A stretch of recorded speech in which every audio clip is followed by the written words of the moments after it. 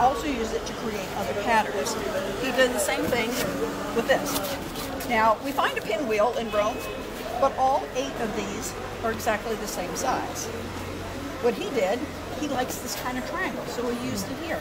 He puts four of these in, which are slightly bigger than the regular um, the 45 degree angle. It's slightly bigger, so these are slightly smaller. And it accounts for the fact that I had this crazy thing here with 38 degrees, and I'm going, what in the world do you do with the 38 degree? And the answer is, well, because this is 52. Well, 52 and 38 is 90, so you're back to a square corner again. So wherever he used this, it was right next to one of these kind of, of triangles in order to make it fit, yeah.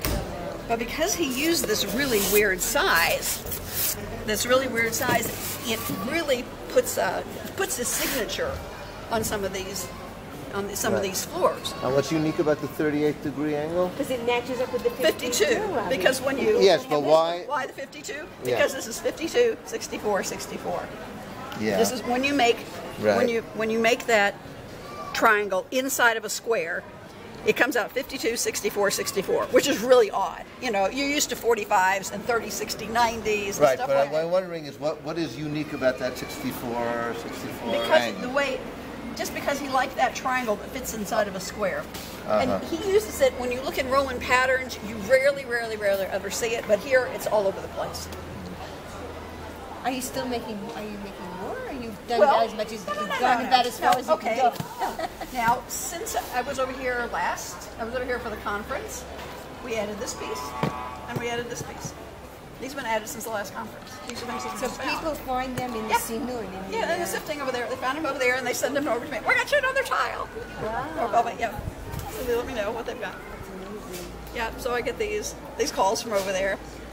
You know, we found this, we found that. Do you need one of these? Yes, we need one of those. Okay. Do you know where it goes? Yes.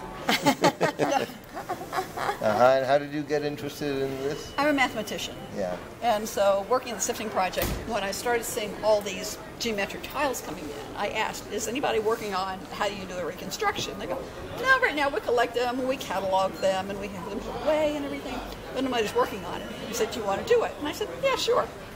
So that's how I got started. I volunteered, and that was eight years ago, and I've been working on it ever since. Wow. And now, you know, that we had a number of them, it's okay. Okay, let's release this to the public. And it's like really good timing, you know, that we release this about the same time that the UN is saying there's no Jews on the Temple Mount. Yeah. Give me a break. You know, the UN has lost their brain, their, their ability to think. So we're very glad that we put this out about that time. Yeah, about this time that they're saying one thing and we're saying, guys, you have no idea what you're talking about. Okay, you know, here it is, right here. Not only do we know that Herod was up there, we even know what his floors looked like. And here, if you want to hold a piece of the Second Temple in your hand, I'm going to put it in your hand for you. You know, here you go, Second Temple right here. Wow. And we let people pick these up, and they go, people go, "You're crazy. Let people touch them." I go, "No, we want people to hold it in their hand and to say, it's had a temple. This is part of it. This is not just a drawing on a piece of paper. This is not just an illustration somebody did in the book. This is a real live piece. You know, this is what was up there. This is what everybody walked on when you came up for the Shalosh Regalim, when you went up there for, for Sukkot, and you brought your sacrifices, and you'd be walking around on the floor, you're walking on all these. This is what your ancestors did, and you get to hold it now too. And so this is why we want people to come and to feel it and to touch it and to know the reality of it. And don't believe a thing that the UN is saying. Well, well, don't worry about it. so this is what you found, and you figured Yes. this was part of this. Yeah, it's it's it's a 135 degree angle in there, so it's hmm. like okay, it's probably part of an octagon. This is a pattern that was used at Banyas, um, Oh. Caesarea Philippi up north. There is a building up there. It's not down in the town part. It's up on a hill, and it appears to be a Herodian palace that nobody knew about.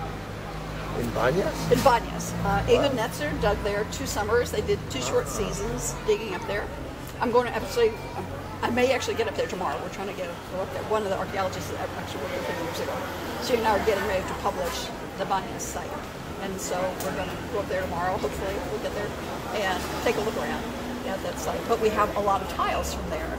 And a few years ago, somebody handed me a box and said, can you do something with this? And I said, yes, later. At the time, I was working on the floor for the Israel Museum exhibit. And so after that, I started working with it and realized from the shapes of the pieces and everything that this was the pattern. Now it's bigger, there's a bigger octagon in the middle, and they repeated the pattern all over the whole floor. So there would have been close to 25,000 tiles in this floor. And I have a box of 170. And I'm going, that's all right, I can put this together. So even though you have less than 1% of the tiles, you can actually put it all together and realize what the pattern is.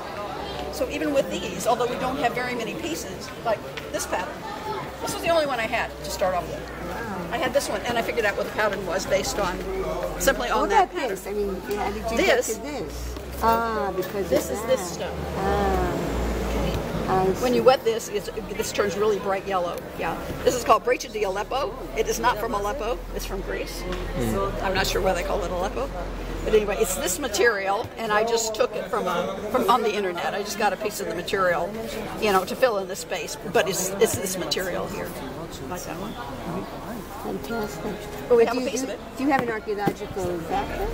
No, my first degree was in math, the minor in statistics, and then I started on my master's in statistics, but didn't finish it because we had to move. Later on, I got a master's in Jewish studies, so I have the Jewish history and I have the math. And over here, math plus history equals archaeology. a lot of stuff plus a lot of stuff equals archaeology. Yeah. Wow. Uh, where, where did you do the Jewish studies? Um, Hebrew College in Boston. And then my, my bachelor's degree in math was from Virginia Tech. So it's, I never thought I'd be doing this with a math degree. Fantastic. Isn't that great? Uh, where,